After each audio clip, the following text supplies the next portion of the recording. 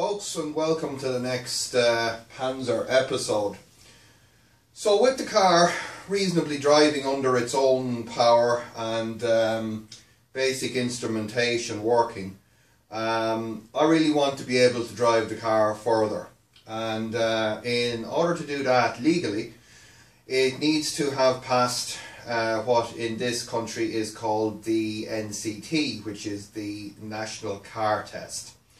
It's just a kind of annual um, health checkup for cars uh, that are more than 10 years old, and I think um, cars that are less than 10 years old have to have it every two years. So this particular vehicle last had one of those, I believe, around 2007. so it's a little bit out of uh, out of test. So one of the things uh, that's been on the car since I actually purchased it uh, was a persistent ABS warning light. And the ABS is the anti-lock braking system, uh, which is a very important uh, safety aspect of the car, and as such, a failure of that system uh, means that I can't get a valid NCT uh, certificate for the car. So as I say, finally with the electrical stuff kind of working, um, drivetrain, all that basically functioning, I kind of decided to turn my attention to diagnosing uh, what's wrong. So did some work on it there yesterday, uh, just some basic electrical troubleshooting, went in on the module, measuring voltages and checking the wheel speed sensors and things like that. Uh, wheel speed sensors are one of the most common ABS ABS failures uh, due to their exposure to the environment and stuff like that. But to my surprise, all four of the sensors measured up fine. So checking around the pump, uh, which is located under the left front headlight, it's basically dead.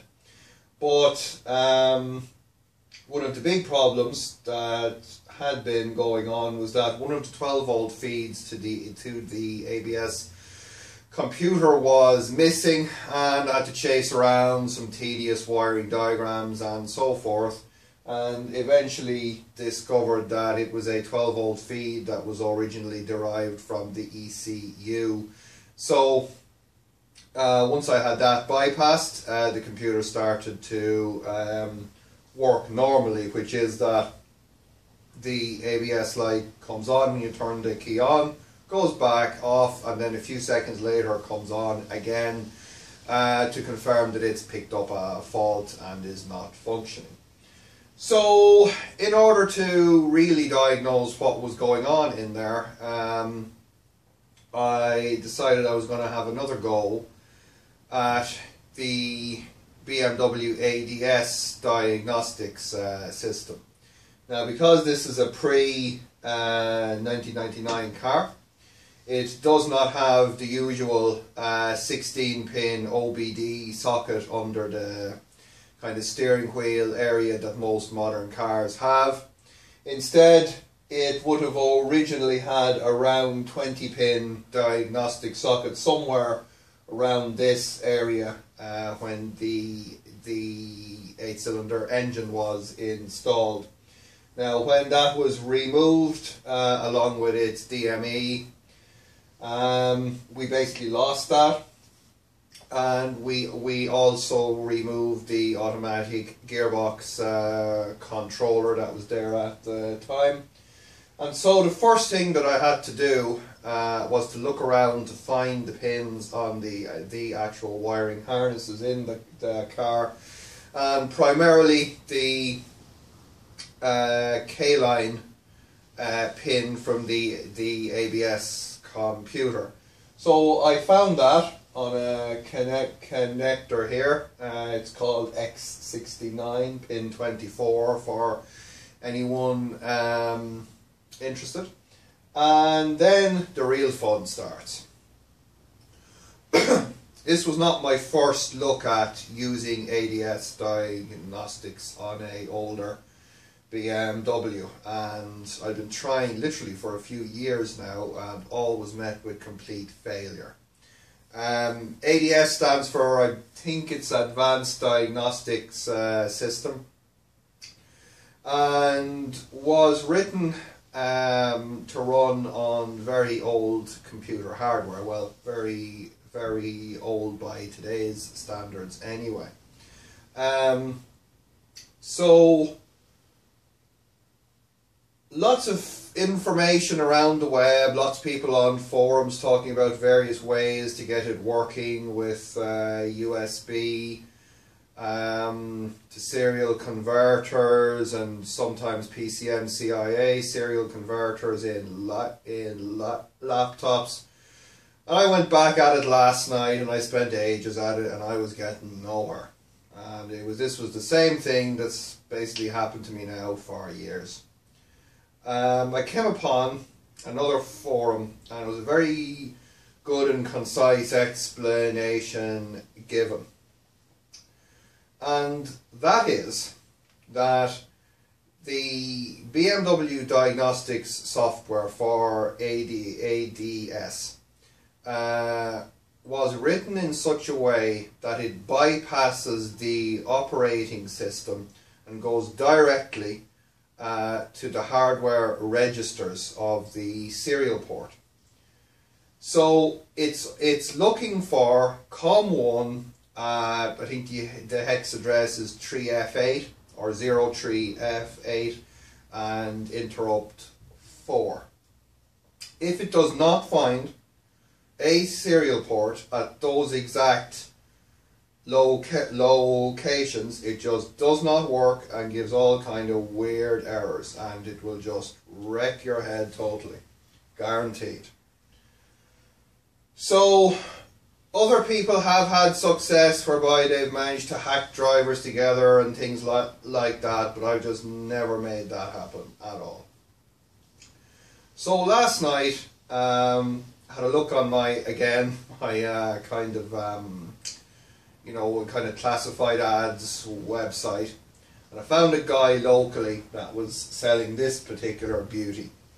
This is a HP uh, Pavilion desktop, probably from around the late nineties to the early two thousands, and this guy has a genuine hardware serial port at 03 F8 and Interrupt 4. It's running Windows XP. It's quite a basic machine. Um, I paid 30 euros for it, including keyboard, mouse, monitor, the whole lot.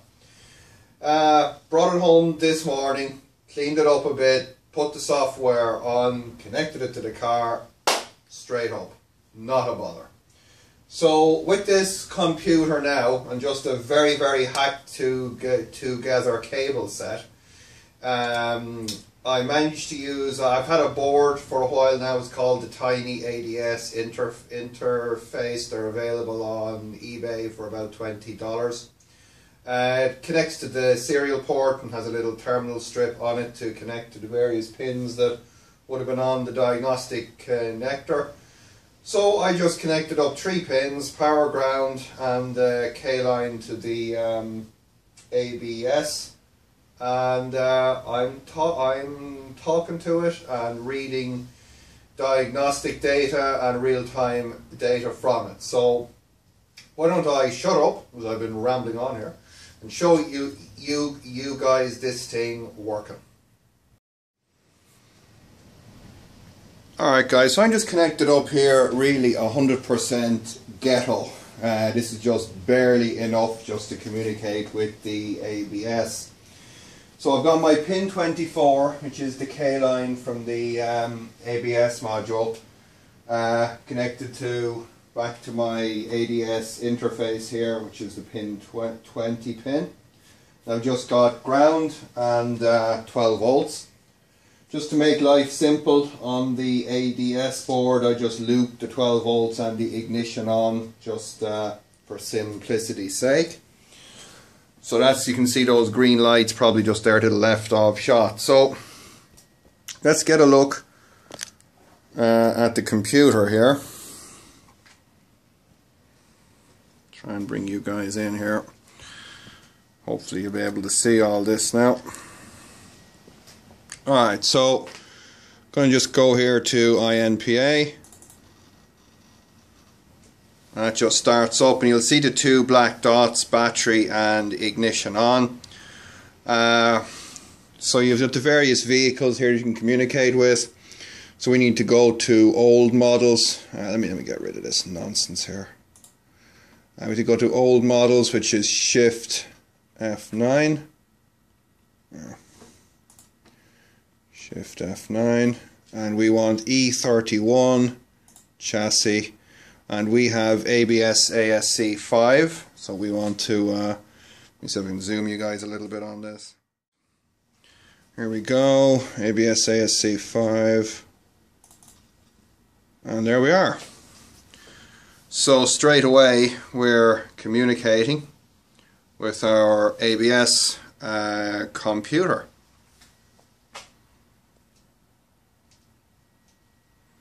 So we want to go error memory. Um, we can do a lot of stuff. We can say info, for example, and it'll give us um, various information uh, about the module and so on. Let's go back with F10. Oh, unfortunately F10 exits me back out, so I got to go back and do this again. 9, chassis. There we go. And uh, we can do identification, for example. And it'll give us various serial numbers and year and week of manufacture and things like that. Um, I think there's a.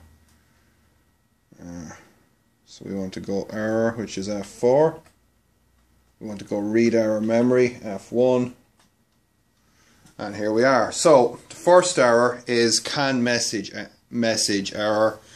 Um, and that's basically there because the ABS module isn't receiving CAN messages uh, from the um, from the ECU or the uh, gearbox controller. But the two one that are most interest to us are servo motor and pump error, which basically means the valve uh, controller and the ABS pump, which is part of the same block, basically are not working.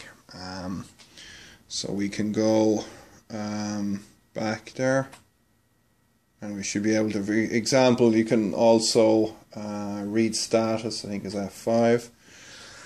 So it'll basically give us wheel speeds, um, throttle position, RPM and stuff like that there as well. So at some point I will probably end up um, having this computer uh, mounted in the car somewhere um, uh, communicating with the modules. Now we can communicate with a lot more modules but this is just connected to the, the ABS at the minute because that's the one that I'm most interested in.